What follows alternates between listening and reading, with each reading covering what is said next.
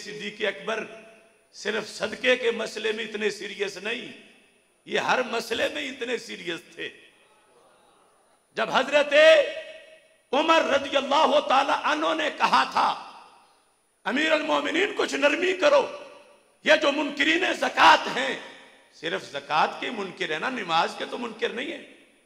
ला इलाहा इल्लल्लाह मुहम्मदुर रसूलुल्लाह, सल्लल्लाहु अलैहि वसल्लम के तो मुनकर नहीं है। ये काबे को काबा मानते हैं, कलमे को कलमा मानते हैं, सिर्फ़ जक़ात के मुनकर हैं। तो मैंने हदीस सुनी हुई है कि जो कलमा पढ़ ले, उसकी जान महफूज होती है। तो आप कहते हैं, मैं इनके खिलाफ तलवार चलाऊँगा। तो उस वक्त भी कोई मसला पैसों का नहीं था, मसला जान हथेली पे रख के लड़ने का था। और हज़रत उमर कह रहे थे अब कुछ वक्त तक अपने आप को मस्जिद नबी तक ही महदूद कर लें। क्योंकि बहर हालात बड़े खराब हो गए हैं।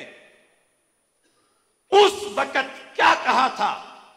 सिद्दीक अकबर रज़ी अल्लाह तलानो ने, का कतम दीन वन का तल वह अयुन का सोवान है। उमर, दीन पूरा हो गया, वही बंद हो गई। अब मेरे ज़िंदा होते हुए दीन में तब्दीली हो, नाकिस हो जा। मैं ज़िंदा होते हुए नहीं होने दूँगा।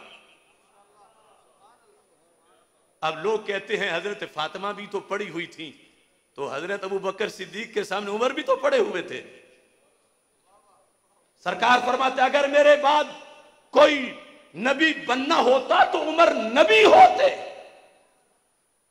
वो मुहदस और साहिब इल्हाम जिनकी तजवीज पे कुरान उतरे, वो कहते हैं तो पॉलिसी बदलो। और हज़रत अबू बकर सिद्दीक कहते नहीं बदलूँगा। और फरमाया, फरमा, अबू कुहाफा के बेटे की क्या हैसियत? कि नबी पाँच रुकन दे के जाए और अबू बकर चार कर दे। छुट्टी देनी थी तो नबी पाक ने देनी थी। अबू बकर की हैसियत छुट्टियाँ देने की नहीं। यह तब्दीली नहीं कर सकता। उस अमानत में और फिर झंझोड़ा हज़रत उमर रदी अल्लाह तला को, या उमर माला का अजब्बार फिल जाहिलिया बखवार फिल इस्लाम, उमर, तुझे क्या हो गया है? जाहिलियत में बड़ा दलेर हुआ करता था। आज तुम डरपोकों वाली बातें कर रहे हो। और इमाम जाफ़र सादिक ने अपने मुनाजरे में दलील देते हुए कहा, कि सिद्दीक अकबर ने कहा, खुदा की कसम है, ये लूंडे मुर्तद, ये तो है ही थोड़े से। अगर इनके साथ जितने पत्थर हैं कायनात के, जितने दरख्त हैं कायनात के, जितने ढीले हैं कायनात के जितने दरख्तों पे कांटे हैं कायनात के जितने जिन हैं कायनात में, जितने इंसान हैं कायनात में, ये सारे आ जाएँ। लका तल तो हम वाहदी। अबू बकर अकेला इनका हिसाब पूरा करेगा। अब देखिए, इसमें हदीस शरीफ ये नहीं क्योंकि इस मसले में अबू बकर जिद कर बैठे। बात थी, वहाँ भी जहाँ लड़ना था जाके, घर नहीं बैठना था।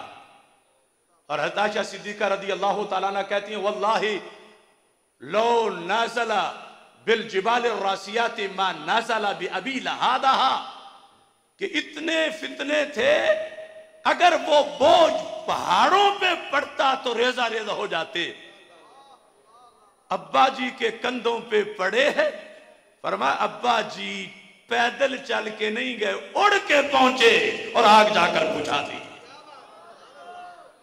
हज़रत उमर रज़ी अल्लाह तला कहने लगे, अगर जुल जलाल मेरी ज़िंदगी की सारी फतूहात के बदले सारी फतूहात के बदले, अगर अल्लाह मुझे अबू बकर सिद्दीक रज़ी अल्लाह तला का सिर्फ़ एक दिन दे दे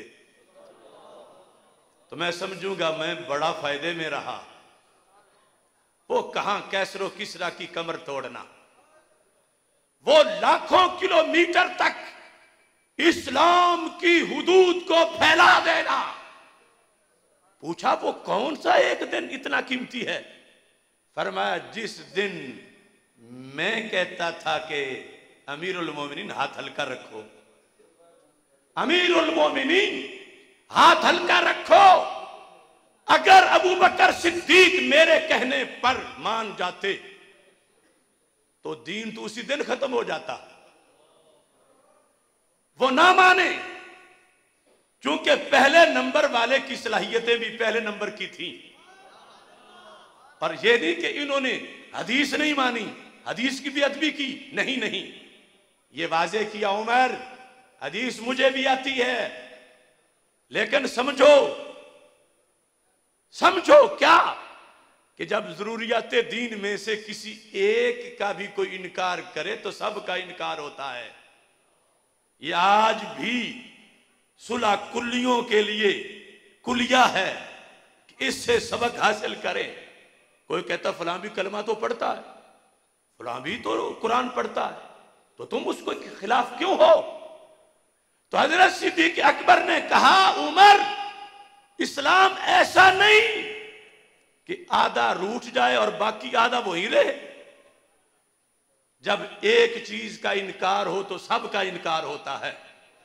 इनकी नमाज़ नमाज़ नहीं है। मुनकरे जक़ात की नमाज़ खत्म। रोजा रोजा नहीं, हज हज नहीं, कलमा कलमा नहीं। तो मैं इनके खिलाफ काफिरों जो खिलाफ जो जिहाद किया जाता है, वो करूँगा। क्योंकि जक़ात का इनकार मामूली ना समझो। आज चौदह सदियों के बाद भी मुफ्तियों के लिए यह समझना मुश्किल है। करोड़ों सलाम सिद्दीकी अकबर के इल्म को। उमर कहते हैं, मुझे समझ नहीं आ रही थी और मैं स्टैंड ले गया।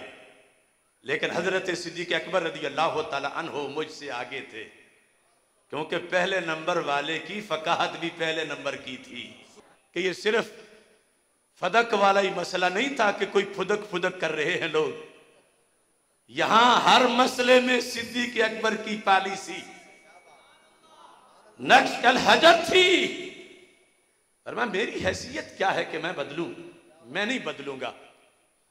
उसी पर रहेगा निज़ाम जो रसूल अकरम सल्लल्लाहु अलैहि वसल्लम ने जिस पर रखा था।